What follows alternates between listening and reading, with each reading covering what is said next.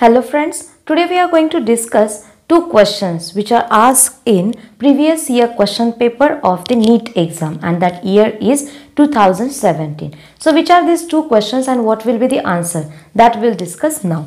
First question, if the molality, molality of dilute solution is doubled, which points we are going to double that is the molality, it is double.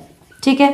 मतलब concentration of solution is double the value of molal depression constant which is denoted by symbol K F will be इसका क्या होगा? मतलब अगर solution का concentration उसकी molality हम double कर देते हैं तो के एफ़ पे क्या इफ़ेक्ट होगा और क्या क्या असर होगा।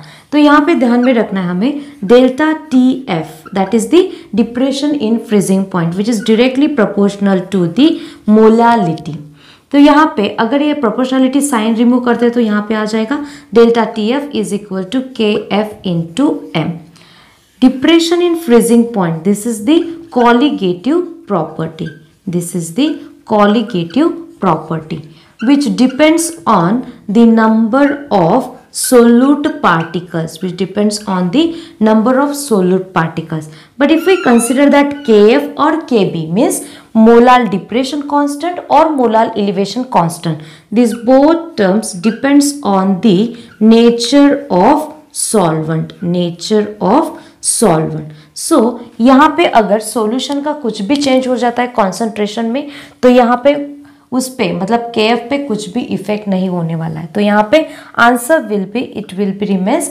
unchanged so ये तो हो गया एक question second one which of the following is dependent on the temperature तो इसमें से कौन सी टर्म टेम्परेचर पे डिपेंड करती है? अगर हम कंसिडर करते हैं चारों में से कौन सा भाई एक पॉइंट तो उसमें वॉल्यूम टर्म आना चाहिए। ऐसा क्यों? क्योंकि देखो, अगर टेम्परेचर इंक्रीज होता है तो वॉल्यूम क्या हो जाता है? इंक्रीज हो जाता है। और जैसे कि हमें पता है, अगर टेम्परेचर इंक्रीज होता है वॉल्यूम इंक्रीज होता है तो इस फॉर्मूला में कहीं पे तो वॉल्यूम होना चाहिए, तभी वो टर्म टेम्परेचर डिपेंडेंट होगी। मोलरिटी का फॉर्मूला आता है mass of solute divided by molar mass of solute into volume of solution in litre mole fraction mole fraction which is denoted by symbol X उसके लिए रेशो आ जाएगा number of moles का। Number of moles is also again W by mass means mass by molar mass because यहाँ पे अगर formula लिखते हैं हम एक के लिए X one is equal to N one divided by N one plus N two and that N one is nothing but W1 divided by M1 means mass by molar mass. Weight percentage, again here we have to consider the weight into 100 divided by weight of the solution. So in this way again that is weight by weight.